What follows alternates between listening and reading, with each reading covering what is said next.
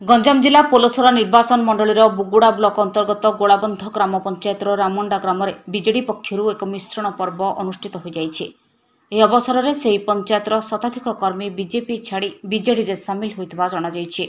ଏହି କାର୍ଯ୍ୟକ୍ରମରେ ଶ୍ରମମନ୍ତ୍ରୀ ଶ୍ରୀକାନ୍ତ ସାହୁ ଯୋଗ ଦେଇଥିବା ବେଳେ ବ୍ଲକ ବିଜେଡି ସଭାପତି ମଦନ ଗୋପାଳ ଦୋରା ଅଧ୍ୟକ୍ଷତା କରିଥିଲେ।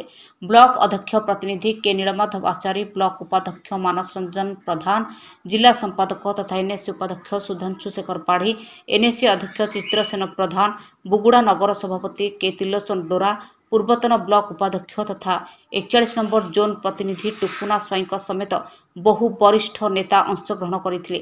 ଏହି ପରିପ୍ରେକ୍ଷୀରେ ରାମଣ୍ଡା ଗ୍ରାମର ବିଜେପି ନେତା ଅଶ୍ୱିନୀ ନାଇକ ଓ ଟୁକୁନା ପାତ୍ରଙ୍କ ନେତୃତ୍ୱରେ ମନ୍ତ୍ରୀ ଶ୍ରୀଯୁକ୍ତ ସାହୁଙ୍କ ଜନସମ୍ପର୍କ ଓ ଉନ୍ନୟନମୂଳକ କାର୍ଯ୍ୟରେ ଆକୃଷ୍ଟ ହୋଇ ବିଜେଡିରେ ସାମିଲ ହୋଇଥିଲେ। ଗଞ୍ଜାମ ଜିଲ୍ଲା ବୁଗୁଡ଼ାରୁ ତ୍ରିଲୋଚନ ପଣ୍ଡାଙ୍କ ରିପୋର୍ଟ ତୀର୍ଥକ୍ଷେତ୍ର ଲାଇଭ୍।